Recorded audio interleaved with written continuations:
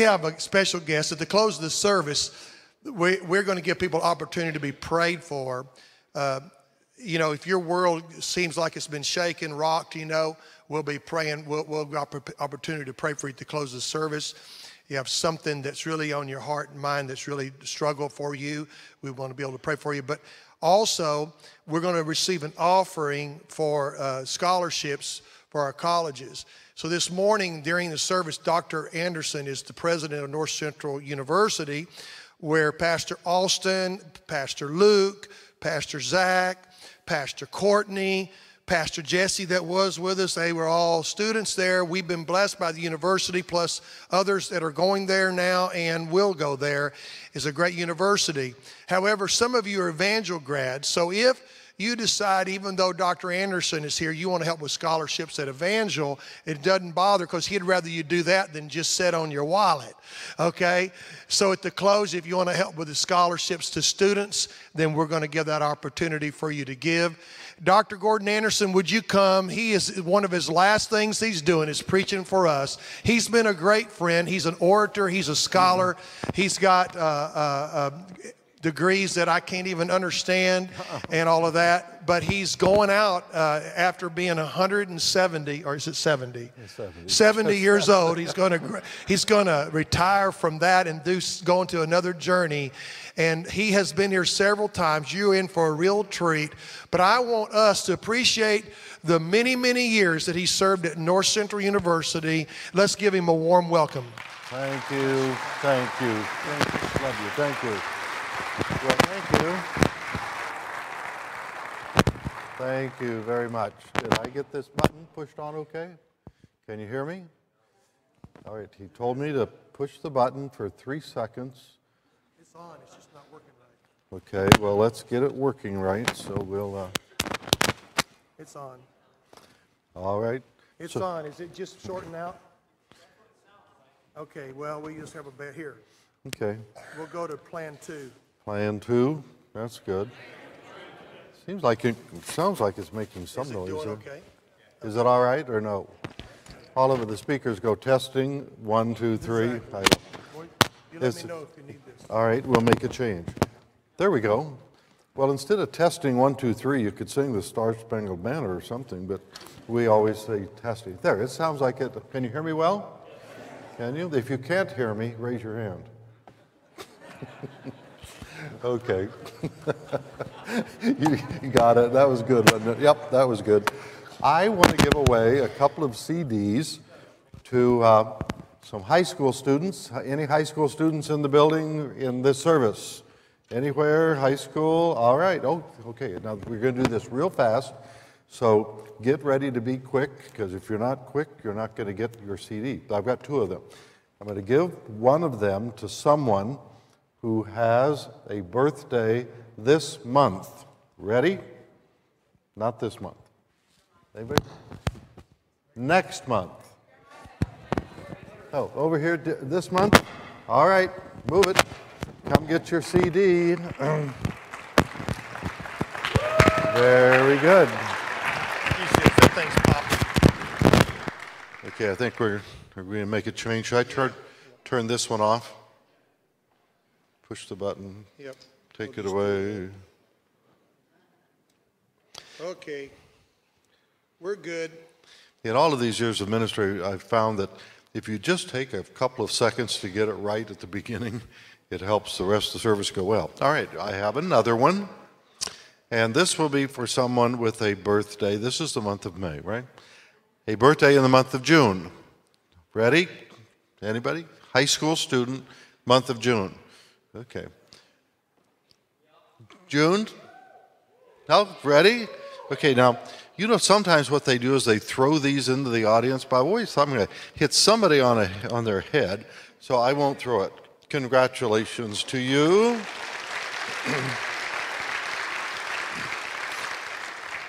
it's always fun to give something away. The um, CD that I just gave away the theme song is Always Remains. And uh, we put it on the web, and there have been 75,000 hits on that one song. So it's our recorded live in the sanctuary at North Central. Hope you will enjoy that. And uh, remember North Central. I've been in North Central 35 years. I started June 1st, 1982. I am finishing June 1st this year, 2017, 35 years.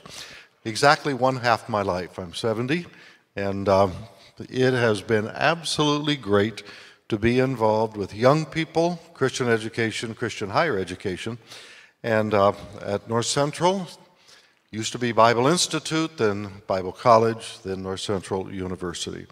I love young people. Uh, they gave me a mug here a few months ago, great big mug, and it says, the oldest youth pastor in the Assemblies of God. And I am. First of all, I'm probably the oldest, but I'm a youth pastor. And they say president and all of that, and that's good and fine. But um, to be a, a leader and a senior leader, a kind of a grandfather figure now to the students, is, has been a great joy for me and my wife, Diane. So it has been now time to turn over the reins of leadership to Scott Hagan, coming to North Central. His daughter went to North Central. And uh, that occurs at midnight, May 31st, just not many days from now. So uh, this service is the last time I will preach in public as the president of North Central University. And uh, the bulletin, I am going to keep this bulletin, Pastor, because on the back, the pastoral staff and the names that you named, I mean, I just swelled with pride as you named the names of these wonderful young people currently here serving on staff, others that have attended North Central, and you've caught me and said hello. So it's a memory. And I have a memory box at home. I do not keep those bad letters that you get every once in a while. I throw them away. If they're not signed, I don't even read them. And um, but this, I'll remember this beautiful day in Iowa with wonderful friends and the names of some students. So uh, you'll be a part of my memory and history. Thank you for making it a wonderful memory. I appreciate it very much. If you want to stay young, hang out with the young. If you want to die young, try to keep up with them.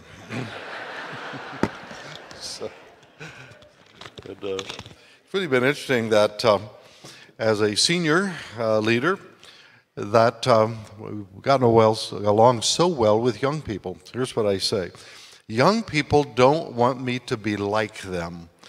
I can't do it anyway. I mean, I can't dress cool like the young people dress cool. I could no more show up in a pair of jeans with holes in the knees than I could, know, I can't do that. They don't want me to be like them. They just want me to like them. Okay? And that's a good lesson in life to love people and care for them. So it's been great. Well, um, if you have your Bibles, I'd like you to find two passages of Scripture. We're going to emphasize a great lesson from the Word of God this morning Matthew chapter 7. Matthew chapter 7. And after we have read that, we will go to Hebrews chapter 12. At the end of the Sermon on the Mount, the Constitution and bylaws for the kingdom of God. Jesus came preaching the kingdom, the reign and the rule of God. The rules of God and the rule of God, the power and authority of God over his created universe. And the Sermon on the Mount is often referred to as the Constitution and bylaws of the kingdom of God. In chapter 7, follow along in verse 24 and following. Therefore, Everyone who hears these words of mine and acts upon them may be compared to a wise man who built his house upon the rock. The rain descended, the floods came, the winds blew, burst against that house, and yet it did not fall, for it had been founded on the rock. Everyone who hears these words of mine and does not act upon them will be like a foolish man who built his house upon the sand. The rain descended, the floods came, the winds blew, burst against that house, and it fell, and great was its fall. Writer of Hebrews repeats this principle, but in language just a little bit different in Hebrews chapter 12, beginning in verse 25, Hebrews 12 25. See to it, pay attention, get with the program, that you do not refuse him who is speaking. For if those did not escape when they refused him who warned them on earth, much less shall we escape who turn away from him who warns from heaven. His voice shook the earth then, but now he is promised, saying, Yet once more I will shake not only the earth, but also the heaven. And the expression, yet once more, denotes the removing of those things which can be shaken, as of created things, in order that those things which cannot be shaken may remain. Therefore, since we receive a kingdom which cannot be shaken, let us show gratitude by which we may offer to God an acceptable service with reverence and awe, for our God is a consuming fire. The words of Jesus are a picture, an image. It's a very clear image, easy to understand. Two kinds of people, wise and foolish. Two kinds of building, temporary and permanent. In Hebrews, it says that there are two kinds of things things that can be shaken, and those things that cannot be shaken in both of these passages, you see that people make a choice. See to it that you do not refuse. Refusing is a choice. See to it that you do not turn away. Turning away is a choice. Sermon on the Mount, he says, Some people hear and they act upon the word of God that they've heard. Other people hear and they do not act upon it. That is a human choice. Uh, this last week, we had our board meeting, we had board training, we had a wonderful um, individual involved in education. And in talking about the whole business of education, he said that he said, I'm a, I'm a combination of a Calvinist, sovereignty of God, and an Arminian, freedom of the human will. But he put it this way Calvinism, sovereignty of God, and Arminianism, the stupidity of the human race. and um, the, the, Jesus didn't say it exactly that way. He picked a bit more delicate word, but it's a powerful word. A foolish man, the fool. And the contrast here is between the wise and the foolish. There are two kinds of things in this world permanent and temporary, spiritual and material. Shakeable, unshakable. Things that last, things that don't last. And there are two kinds of people wise and foolish. That is a very, very simple lesson that is easy to remember. And I really do trust that in the preaching of this principle, this truth, that it could really grab our hearts because we are all in school. We are all paying tuition. the tuition is the pains of life. School is the school of life. And maybe you've heard it said that uh, there's a school of hard knocks, right? School colors are black and blue. And the graduates really know their stuff. How many of you know that life is hard? That it has bumps? Uh, more than bumps. Uh, this passage that Jesus gave us says a storm comes. If you look at the wording of this passage, it's uh, two passages almost identical, only a couple of words change. But for both the wise man who hears and acts upon the word of God, a storm comes. To the fool who hears and does not act upon the word of God, a storm comes. You see, being a person of the kingdom of God is not getting an exemption from the storms of life. It's getting protection and provision to get you through the storms of life. Could you say amen to that? The storms are going to come. We had a lady in our church in Portland years ago. I remember what she said. You've heard it said that into every life a little rain must fall. She said, That's not true. Here's what's true into every life, an occasional hurricane will come. And that is true for all of us. And the wonderful thing about being a person of the kingdom, born again, saved, forgiven of our sins. The storms will come. Sometimes people think becoming a Christian means you get a pass. You don't get a pass, you get a provision. You don't get an exemption. You get the power of God to stand with you during the hurricanes of life. Thank God for that. The last uh, few years, I've had two surgery. Now, that just is part of the proof of the frailty of our human makeup, right? The frailty of it all. I can't say, well, I'm a Christian. I should never get sick. No. It's when I am sick I can pray, and God can hear my prayer. I should never have problems. No, it's, it's not that. It's that when I have problems, I have divine provision for the problems. I'm not alone. Oh, the, the wonderful worship choruses we sang. We're never alone. We never have to do it alone. I was born on a farm and ranch in western Nebraska, grew up in eastern Colorado. Out there, the first time we came here, when we first moved to Minnesota, I was amazed. I had never seen dirt like southern Minnesota and like you have here in Iowa. All the dirt we had back there in Colorado was kind of tan, right? Just kind of light tan. Here the dirt is the dirt is black and rich, and you know I just love it to see the uh, fields all plowed up. It's beautiful to watch and the uh, productivity. But back where I grew up, the ground was hard much of it was marginal. A lot of it should never have been plowed up. It should have been left as prairie for pasture. Uh, it was good for pasture. That ground was hard, really, really hard dirt. And um, so hard that um, some of the homesteaders and farmers and ranchers would simply take logs or timbers, lay them down on the ground, and build a building on top of them. No foundation, no concrete, no rock just timbers and a building. And you know what? It works. It works absolutely fine. It works perfectly for a while.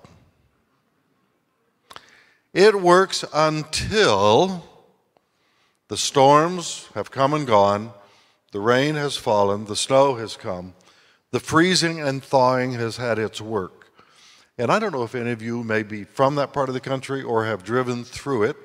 Uh, you see sometimes these pictures, uh, photographs of old buildings and old barns and barn wood. You know, do you realize some of that old barn wood is a whole lot more expensive than brand new wood is these days? it's, it's weathered, you know. Well, it is. It's kind of pretty. But those buildings, I grew up in that country. You would see these old barns and buildings. Now they are not standing straight if they're standing at all. They're tilted over to one side. They're falling apart because the foundation was not good for the long run. It was only good for the short run. And you know, here in life, what a lesson this is this word picture, this image. You can get away with building with inferior materials. You can get away without the kingdom of God. It'll work just fine for you for a while until the ultimate realities we face. One of them is that it's appointed unto every one of us to die. It's appointed. It's not a matter of what, it's only a matter of when and how. We understand that. You know what's really crazy about that? This ultimate reality is one that we ignore the most. I, I, found just a couple of years ago that I am living with a condition that will take my life. It is incurable. Uh, I'm sorry it is true. There's nothing they can do about it. And uh, when you're living with an incurable condition that will take your life, it sobers you up. It makes you more serious. It makes you look at your grandkids differently and live life differently. What they told me is that I have a condition. It will kill me. It's called aging. Okay, I tell you I'm dying of a terminal condition, and you laugh at me. What kind of a congregation do you have here, Weaver? People that laugh in the face of a dying man. Let me make the point. If I had told you I have cancer, not a single person would have laughed. Not a one. You would have probably went, oh. I mean, I don't think anybody would have said, that's a hoot. You know, that's fun. No, you wouldn't have. What is it about the most real reality we all will face that it can be a laughing matter and a condition that only a few will face is a sobering matter? You know, don't we think crazy about some things? But we're all going the same direction. The question is this how, how will we go? We, uh, I've done many, many funerals in my life. I've buried a lot of family members. Buried my grandfather, 93 years of age, and uh, buried other people. I buried my grandmother, and uh, it, it, Christians are odd, kind of funny the way they do funerals. We go to the service, we cry. I'm a crier. Do you know I keep my I keep a handkerchief in my Bible at all times because I get moved. So when I get moved, I'm prepared. I just, uh, when I get moved, I sometimes leak. I, I weep. I preached my granddad's funeral, and I cried. I loved my granddad. I'm named after him, and um, loved him. But so we go to the service, and then we cry, and then we go to the church basement and eat chicken and tell funny stories and laugh. What a schizophrenic bunch of people. But here's, here's, here's the lesson there is a time to weep because loss and grief bring great sorrow, and we weep together. But the reason we go and eat chicken and tell funny stories because death is not the end of the story. Because we know the resurrection has come. Oh, this song that we sang, you know, death was arrested and new life began. Can you say amen? So when I preached my granddad's funeral, I, I lifted a line from a, a COGIC preacher back in New York. he preached a service, and he said, Now, some of you people, and he was hard on him, he said, We're going to walk by this casket, you're going to look down at this dead body, and some of you are going to say goodbye, because you'll never, ever see this person again. That's hard. He said, But others of you, you're going to walk by this casket and you're not going to say goodbye. You're going to say good night. I'll see you in the morning. And the choir took off. In that great getting up morning, fairly well, fair, you know, it was a great funeral service in that great getting up morning, fare you well. So I lifted that line and I said, when I walk by this casket, I'm not going to tell my grandpa, goodbye. I'm just going to tell him good night, Pop. I'll see you in the morning. Amen? Because the reality is some things will change. The body will change. Granddad was 93 when he died. But he was born again. And someday, in that great getting up morning, we'll all say farewell to this earth and go to our permanent home. This home is not permanent. What does the Bible say? We're pilgrims. We're just passing through. This world is not my home. I'm just passing through to the real home. And so the lesson of life is that we need to learn the difference between that which lasts that which doesn't, the things that really matter and the things that really don't matter, the difference between spirit and flesh, the difference between the eternal and matter. The Bible says God has promised that He will shake the heavens and the earth. God is the one that is shaking. Why does He do this? To give you and me an opportunity to learn the difference between those two realms. That's why we're here this morning. And Pastor, a moment ago you prayed. You know, we closed our eyes, and I, when you did that, my heart just was so moved within me. Men and women gathered in a building, and you gave people an opportunity to say, I want to go from one side to the other, from darkness to life, from, from that which ends in death to that which ends in eternal life. That's what we're all about. In this day, this service, this church, but every day of our lives. Been in education for many, many years. The joy of my life has been to work with young people, and not only just to give them education but to couple with education transformation. The uniqueness of our schools in our movement is that it's not just about education. Education is good, we believe in it. I call that the professional preparation. And it's good to be good at some things and to get education so you can do those things well. But that's not all. The uniqueness of our Bible based, Christ centered, spirit filled schools, Evangel, North Central, all of our schools, is we don't stop with just information and education. We are committed to transformation. That's not just the professional preparation, that's the prophetic preparation. because God has poured out His Spirit upon the body of Christ.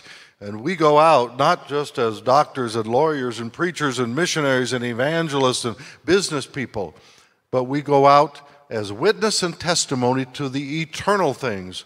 Heaven and earth are going to pass away, but the Word of God will never pass away, you see. Isn't that a wonderful, wonderful truth? So here we are in a church again, contemplating again what it means. What's life all about? What does the future hold? I just got word yesterday that a good friend of mine has been diagnosed with cancer. Stage four in his lymph nodes, liver, kidney, and bones. This is that momentary notice. This is that phone call that we all get from time to time that says, My life has been rocked. My life has been shaken. I will be talking with him. There is the miracle working power of God. There is healing. But short of healing, there is death. He and I will reflect on both. But here's the reality of all it really doesn't matter. He will live in victory. No matter what this life has for him, no matter what the body may do, no matter what the doctors can do or can't do. And I don't understand the mystery of why some people are healed and others are not. That's in the hands of God. But I understand this there's ultimate victory for those who are in Jesus. There is ultimate victory. When their body is shaken, their soul remains eternal. That's the ultimate reality that we live with. Everything that can be shaken will be shaken, so those things that cannot be shaken may remain. I'd like you to bow your heads with me, and I'd like to have a prayer with you. Pastor has said, and I'm so glad we will end this service with a time of prayer. The prayer counselors will come down.